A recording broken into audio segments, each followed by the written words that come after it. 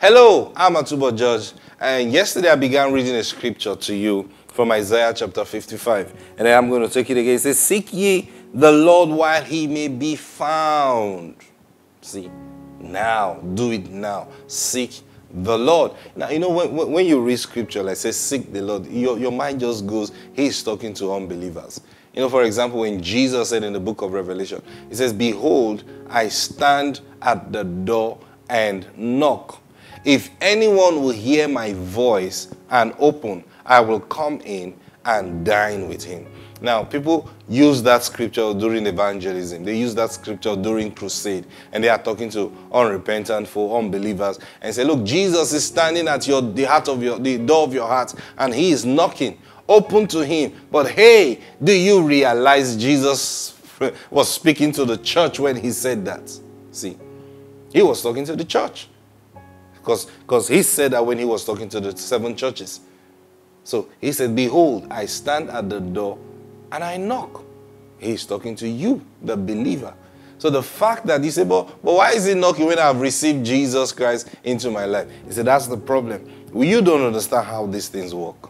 You receive Christ into your life. Goody. But that's not all. Jesus is still training you and building you up, and he still visits you. See? So at every time he comes and he doesn't just badge into your life and takes you by the hand. You just you just wake up and you see that you're beginning to move in a particular direction and you're wondering what's happening to me. Oh, I think it's the Lord that is moving me. No, no, no, no, no. He seeks your willingness. He seeks your obedience. That's why Isaiah tells us if you are willing and you are obedient, you will eat the good of the land. Now, here in Isaiah 55, he says, Let the wicked verse 7, he says, Let the wicked forsake his way, and the unrighteous man his thoughts. What does it mean to forsake your thoughts? That thing that you think is right, that you're holding on to, get ready to let it go. Let it go for what? For the thoughts of God. See? Because it's and, and, and the unrighteous man is thought, and let him return to the Lord, and he will have mercy on him and to our God, He will abundantly pardon. Now, there's something I always used to say. The greatest gift that the Lord has given to us is the ability to repent. It's a blessing. You know, I, don't know what people think sometimes. You know, when you talk about repentance, they just think you're talking about, okay, I used to be a sinner, now I'm no more a sinner. Uh uh-uh. uh. To repent means to change your way of thinking, change your thoughts, for example, if you feel, you know, there are people who just feel life is hard. That's their mentality. See, you need to struggle for anything. You know, like people say, hustle, hustle. Praise God. They say you must hustle in life. There are pastors that believe that. You must struggle for everything. Things don't just come easy. Now, that's a way of thinking. That is a thought. But then, is that the truth? No. Okay, you say, People must work hard. People must hustle. Okay, Jesus said, Come unto me, all you that labor and are heavy laden, and I will give you rest. All right? So, how do you put that together? You must hustle. Jesus said, Come if you're hustling, and I'll give you rest. Okay, so someone said, I've gone to Jesus. Now I'm, I'm, I've come to Jesus. And he comes to Jesus. Someone who's supposed to be in Jesus, a pastor, is now telling him, You need to hustle. Oh, so, so I don't get. So where does he go to? Now you just know automatically that this person is not fully representing Jesus. Is that's the truth. Because God is saying here that turn from your thoughts and return to the Lord. When you return to the Lord, what's the Lord going to give you? Mercy.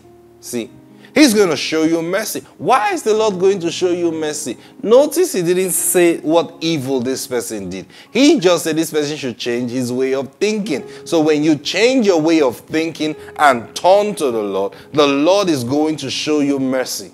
Praise God. Isn't that beautiful? That's why I say the greatest gift, one of the greatest gifts God has given to us is the ability to repent.